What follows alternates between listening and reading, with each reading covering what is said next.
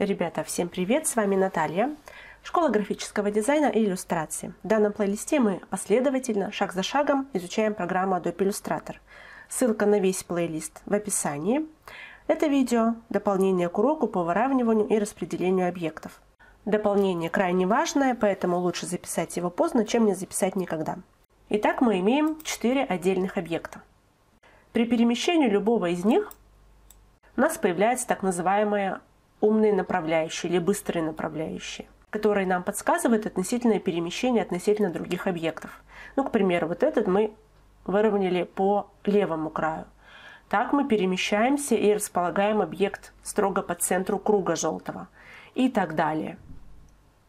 Если по какой-то причине эти направляющие у вас не отображаются, их можно включить через меню «Просмотр», вот они, быстрые направляющие, галочка обязательно должна стоять. Кстати говоря, конечно, подробный урок по ним есть. И еще привязку к пикселю лучше отключить, потому что как раз на размер пикселя программа будет ставить объекты нечетко. Я это сразу делаю.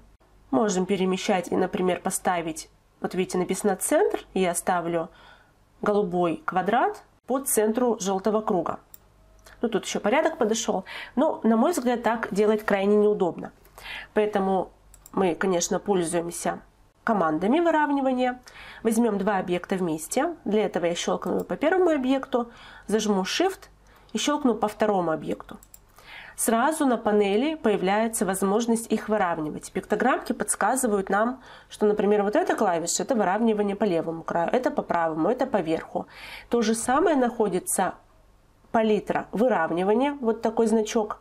Если этой палитры у вас нет, находится меню «Окно», и вот среди прочих, это как раз список палитр, выравнивание, стоит галочка, вызывается Shift F7. И мы щелкаем соответствующую команду. Хочу, например, выровнять по вертикальной оси. Как вы заметили, программа переместила и один объект, и второй объект. То есть она просчитала некий центр, я не знаю, по каким математическим формулам она это проделывает, и переместила оба объекта, выровняв их по оси.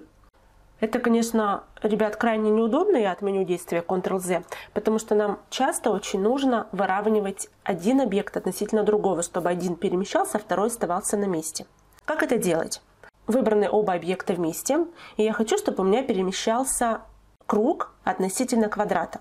Я щелкаю второй раз по голубому квадрату, у меня появляется вот такая большая толстая рамка. И сразу вот в этой палитре, видите, вкладка выравнивание по ключевому объекту. То есть относительно этого объекта будет перемещаться другой объект. Щелкаю по центру, и у меня переместился этот объект. Тоже относится и к нескольким объектам. Давайте я немножко их растащу, выделю все вместе. И, допустим, ключевым у нас объектом будет красный объект. Щелкаю второй раз, появляется вот эта толстая рамка. По ключевому объекту выравниваем, например, по этому центру этот стоит на месте, остальные все переместились, а, как мы хотели. Давайте еще Ctrl-Z от меню ребят действия. Проверим, как это будет работать, если мы будем работать с группами объектов. Выделю вот это вместе и Ctrl-G сгруппирую. Итак, есть группа из двух объектов и есть два разрозненных объекта. Давайте специально, чтобы они были криво-косо. Выделяю все вместе. Щелкаю, например, по группе она становится ключевой, и мы, допустим, выравниваем по низу. Все ускакало. Ctrl-Z от меню действия. И, например, ключевым будет у нас отдельный объект, желтый. И выравниваем, к примеру, по нему. Все работает относительно групп, относительно отдельных объектов. Друзья мои, вот такое важное дополнение. Я надеюсь, вы его оцените и поставите лайки. Не забывайте о том, что под видео ссылки на соцсети школы. Пожалуйста, подписывайтесь. А тех, кто заинтересован в быстром и качественном освоении программы Adobe Illustrator, приглашаю на персональный курс обучения. Подробности также по ссылке в описании.